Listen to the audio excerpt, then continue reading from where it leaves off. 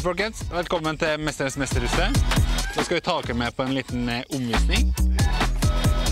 Da er vi oppe på verandaen. Loungen.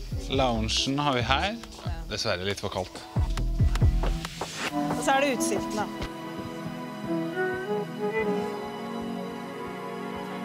Skal vi ta på dere badeklær, da? Dere må ta av dere T-skjortene. Som dere ser, så er det pressedag i dag, så det er mye fotografering og Du blir lurt til mye, da.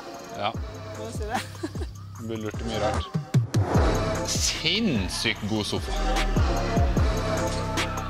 Oh. så det er deilig å slå seg ned her når du kommer tilbake fra en lang dag med konkurranser.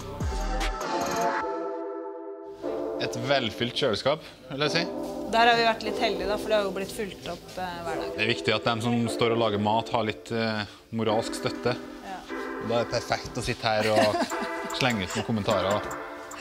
Si hvordan det egentlig burde gjøres. ja.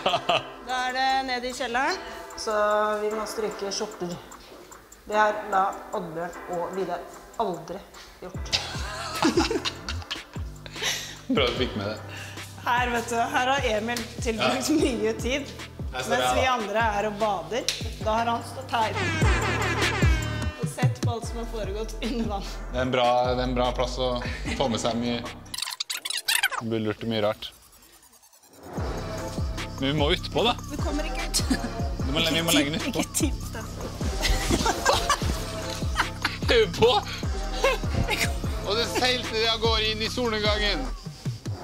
Dette var da alt Drammesternes mesterhus er 2020.